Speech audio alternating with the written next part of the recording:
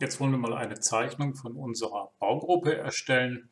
Bei der Baugruppendarstellung geht es ja nicht so sehr darum, die Abmaße darzustellen, denn die hat man üblicherweise in den Einzelteilzeichnungen, sondern mehr zum Verständnis, welches Teil kommt wohin. Äh, falls manche Teile vielleicht ein bisschen ähnlich sind, eventuell noch die Gesamtabmaße mal als Übersicht, denn viele kleine Teile können ja auch wieder mal ein großes Teil ergeben und auch um die Stückliste nachher dran zu bringen, um zu sehen, welche Teile in dieser Baugruppe alle vorhanden sind. Wir machen also genau das gleiche von unserer kompletten Box. Gehen wir jetzt mal auf Datei, Neu, Zeichnung des aktiven Modells und ich habe jetzt mal eine andere Vorlage gewählt, wo auch im Zeichnungskopf potenziell ein bisschen mehr drinstehen könnte.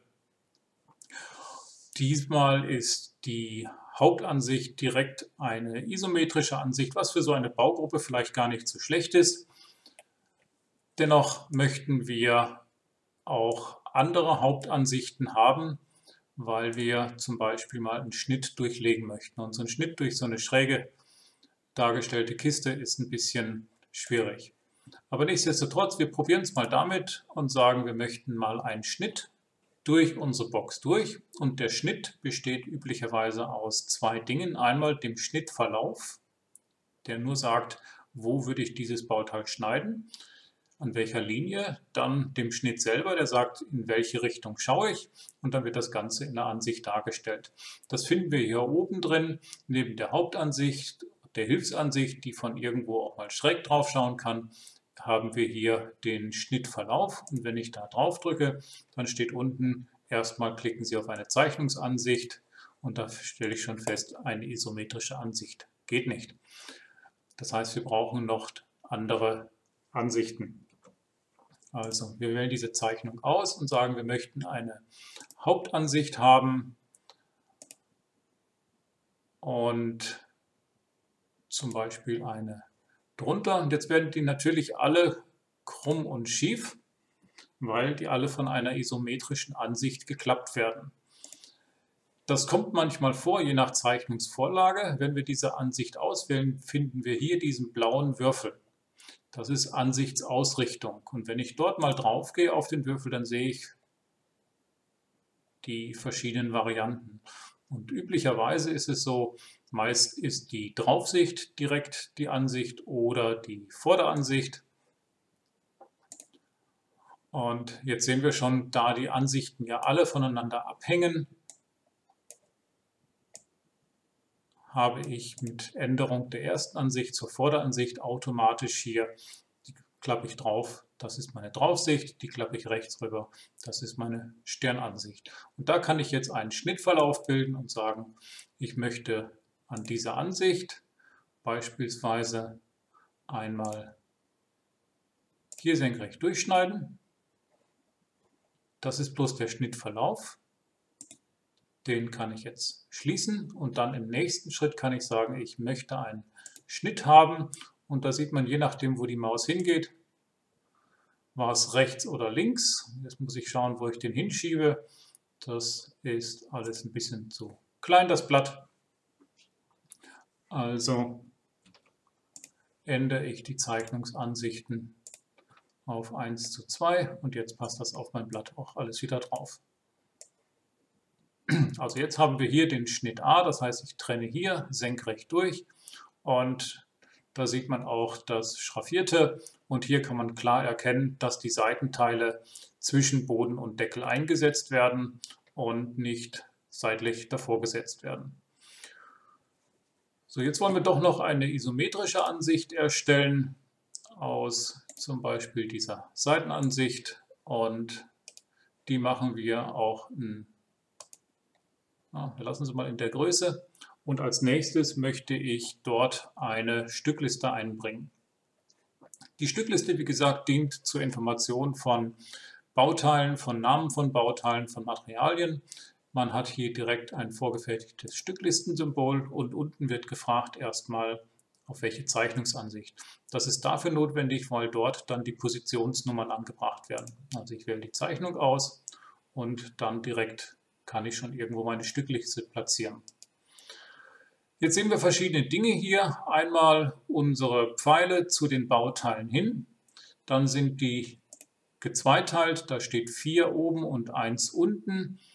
Das obere ist die Positionsnummer. Und das untere, das ist die Häufigkeit, wie oft das Teil vorkommt. Und jetzt sehen wir auch so eine gestrichelte Linie einmal ringsherum. Und wenn ich mal diese Position mal anfasse und verziehen will, dann läuft die immer auf lang, entlang von dieser Linie. Das ist eine Hilfestellung für die Platzierung, wenn man viele Positionsnummern hat. Wenn man die lieber frei wählen möchte, wähle ich diese Hilfslinie aus. Mit Entfernen wird sie gelöscht und jetzt kann ich jede Positionsnummer dorthin bringen, wo ich es gerne haben möchte. Ich kann auch den Punkt verziehen, wo ich es dann brauche. Also Position 1 sehen wir ist der Boden, 2 ist die Seitenwand, die taucht zweimal drin auf, sehen wir auch rechts eine Anzahl. Position 3 ist die Sternseite, die taucht auch zweimal auf, vorne und hinten. Und Position 4 ist der Deckel. Wenn man sich die Stückliste anschaut, Dateiname ist gut, Positionsnummer ist gut, Anzahl ist auch gut. Der Autor ist, ist vielleicht nicht ganz so wichtig und vielleicht interessiert mich viel mehr, was wiegt jedes einzelne Teil, was wiegt die, die gesamte Baugruppe zusammen und möglicherweise noch aus welchem Material besteht das Ganze. Das kann ich ändern, indem ich mit einem Rechtsklick auf die Stückliste gehe und dann öffnet sich oben eine kleine Kopfzeile und da ist sowas wie ein Blättchen zum Editieren. Da sind dann allgemeine Sachen, wie groß die Stückliste sein darf. Wenn sie zu groß ist, wird automatisch ein zweites Blatt aufgemacht. Interessant ist hier die, der Reiter mit den Spalten. Da ist nämlich aufgelistet, welche Spalten in der Stückliste drin sind. Also Positionsnummer, Dateiname, den Autor, die Spalte löschen wir mal, die Anzahl, die lassen wir drin. Und hier unten finden wir alle möglichen Spalten, die man noch hinzufügen könnte. Da wäre vielleicht die Masse. Also wählen wir Masse aus dazu. Das Material ist vielleicht noch interessant, fügen die Spalte auch hinzu. Und jetzt haben wir eine erweiterte Stückliste. Die schieben wir mal ein bisschen rum.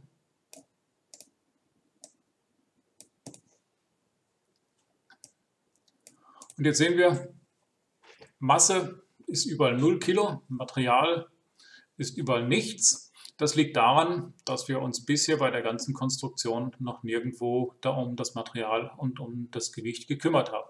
Das machen wir jetzt gleich im Anschluss. Erst speichern wir mal. Das heißt also Box. Und jetzt müssen wir in jedes einzelne Bauteil gehen. Ich nehme mal meine gesamte Box, mein Assembly, gehe mit der rechten Maus auf den Boden, öffne den. Jetzt gibt es verschiedene Arten, dem ein Material zuzuweisen. Die eine Möglichkeit ist, ich nenne es mal oben die Schwalbe und dann gehen wir unten auf Info für die Eigenschaften. Da gibt es dann die Materialtabelle und in der Materialtabelle kann ich jetzt aussuchen, woraus das ist. Das sind vorgefertigte Materialtabellen Metalle, Buntmetalle, Eisenmetalle, verschiedene Stähle, dann nochmal verschiedene Varianten mit Stellen, Nichtstellen und auch andere, wie zum Beispiel hier Kunststoffe. Unten nochmal Stähle an Titan oder man kann natürlich auch seine eigenen Werkstoffe dann generieren machen wir das Ganze mal aus äh, irgendeiner Art von Kunststoff oder wir mischen es mal, dass wir nachher auch den Effekt sehen. Also der Boden sei aus einer Alle-Legierung, da nehmen wir mal eine 6061 T6.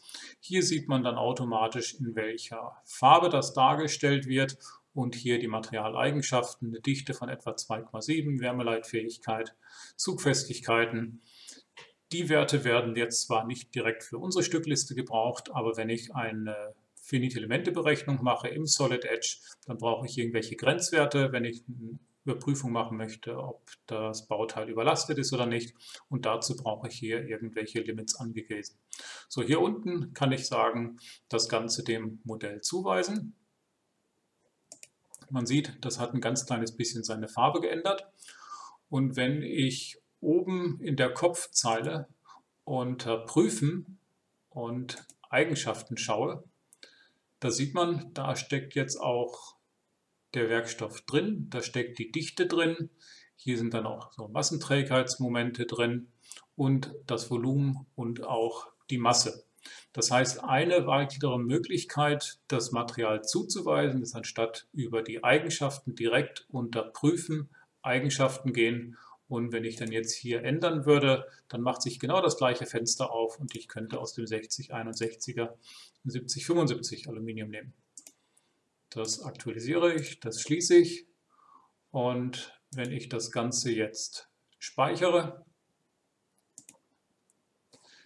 dann sehe ich jetzt folgenden Effekt. Ich habe eine Zeichnungsableitung gemacht von meiner Baugruppe. In der Baugruppe sind Teile und eins von diesen Teilen habe ich jetzt verändert. Zwar nicht maßlich, aber immerhin mit einigen Eigenschaften. Ich bekomme hier einmal ein Warnfenster, dass sich irgendwelche Zeichnungsansichten geändert haben, dass sie veraltet sind.